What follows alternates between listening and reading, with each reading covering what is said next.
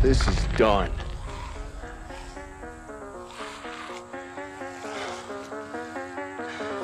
Do we even have any ammo?